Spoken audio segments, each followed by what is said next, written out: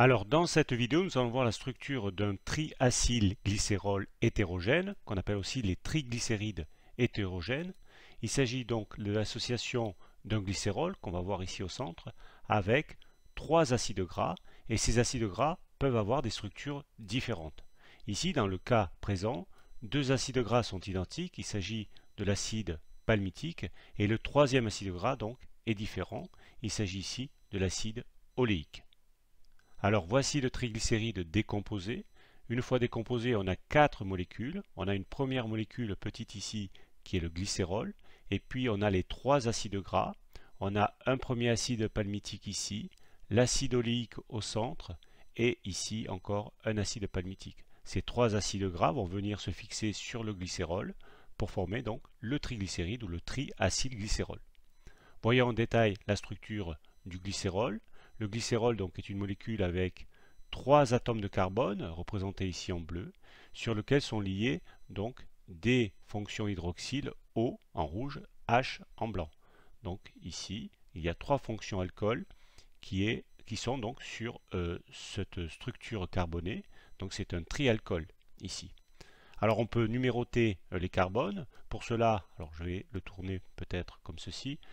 Pour cela donc, on fait comme pour Fischer on met la chaîne carbonée de façon verticale, et quand la chaîne carbonée est verticale, il faut que le OH du carbone central vienne vers nous à gauche. Et c'est le cas ici, dans cette position-là. Et dans ce cas-là, ça veut dire que le carbone numéro 1 de la structure, c'est celui-ci, là, en haut. Le carbone numéro 2, le carbone central. Et ça, c'est le carbone numéro 3. On parle aussi donc de carbone alpha, bêta et alpha prime. Ensuite, un petit mot sur les structures des trois acides gras. Le premier ici, l'acide gras, l'acide palmitique, est donc un acide gras saturé, c'est-à-dire qu'il possède bien sûr une fonction acide carboxylique, C double O, OH, et puis une longue chaîne aliphatique ici.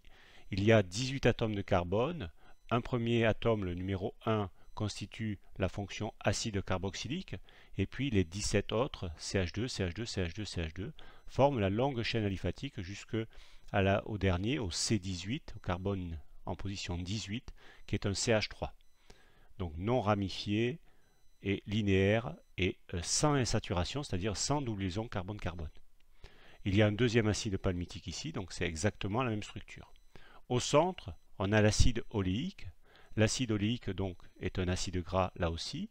Il y a donc sur le carbone numéro 1 là aussi une fonction acide carboxylique, c'est-à-dire C double O et OH, une fonction donc ici hydroxyle, et puis 17 atomes de carbone qui constituent euh, la longue chaîne aliphatique. Là aussi c'est des CH2, CH2, CH2, sauf entre la position 9 et 10 ici, le carbone 9 et le carbone 10. Il y a donc CH-CH, c'est-à-dire qu'il y a une double liaison carbone-carbone. Cette double liaison carbone-carbone euh, est une insaturation, une, une double liaison donc qui va provoquer une courbure euh, de la longue chaîne aliphatique puisque les deux euh, chaînes, la double liaison carbone-carbone est en 6, en configuration 6, c'est-à-dire que les deux euh, reste de la chaîne, ici à gauche et ici à droite, partent du même côté euh, de la double liaison carbone-carbone. Donc c'est en 6, ça provoque une courbure euh, généralement à peu près de 30 degrés. Ici. Ces trois acides gras, ici, vont pouvoir donc se fixer sur le glycérol. La fixation se fait par des liaisons ester. Donc ici, un acide carboxylique et un alcool, un OH vont donc se lier, il va y avoir départ d'une molécule d'eau, et donc on aura une fonction exter, C doublison O, O, et euh, le carbone, on va le voir sur la molécule en entier, et même chose pour euh, les trois euh, acides gras qui vont venir se fixer sur les trois alcools, et dans le cas de notre triglycéride ici, les deux acides palmitiques vont venir se fixer sur le carbone 1 et sur le carbone 3, et l'acide oléique va venir se fixer sur le carbone 2. Alors revenons sur la structure du triacylglycérol hétérogène. On reconnaît ici au centre le glycérol avec ses trois atomes. On va les sélectionner. donc celui-ci, trois atomes de carbone, ici et ici, donc qui forment avec un premier acide gras ici, un acide palmitique, une liaison ester, donc constituée par le O résidu donc du glycérol, le C numéro 1 du acide palmitique et le C double liaison O, ici la liaison donc euh, ester.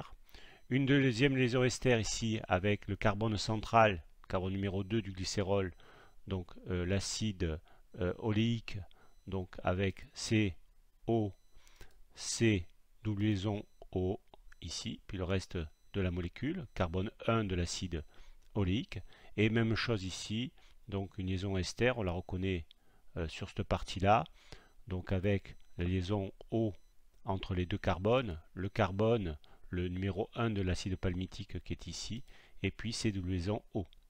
Ici donc, on a le, glycérol avec donc ces trois liaisons ester qui euh, lient les trois acides gras, un acide gras sur le carbone 1, un acide palmitique, un acide oléique sur le carbone numéro 2 et un acide palmitique sur le carbone euh, numéro 3 ici.